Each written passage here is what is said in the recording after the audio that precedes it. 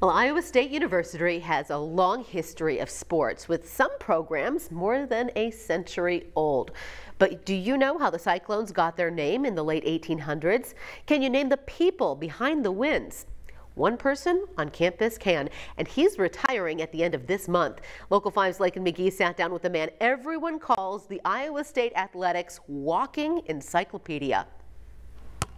Football came in 1892. Tom Kroeschell can tell you almost anything about ISU athletics. Iowa State fielded its first intercollegiate team, which was uh, a baseball squad. He started working at ISU in 1985 and has seen championships, wins, and athletes come and go. But the one that stays with him is the history behind the school. Yes, some of it gets uh, stored in your head uh, forever. Some of it you learn because people are coming to ask you about it all the time.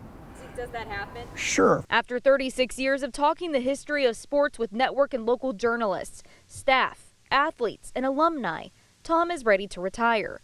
But before he goes, he told me some of the history he has stored in his brain. Iowa State's 1895 team, for example, went to Northwestern as a huge underdog and won the game. And the Chicago Tribune printed a story that says Iowa Cyclone devastates Evanstontown.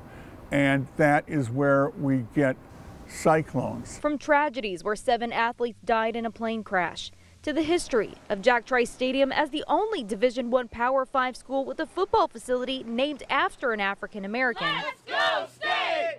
Let's go state! Tom is ready to put away his encyclopedia and pass on the knowledge to others. You appreciate the legacy long after you stepped off the floor or the pitch or the field or the court. Reporting on the Iowa State campus, Lakyn McGee, Local 5 News, Weir, Iowa treasure trove of information there. Well, Tom started at ISU in 1985 as the head of the athletic communications, and he stayed in that role for 20 years.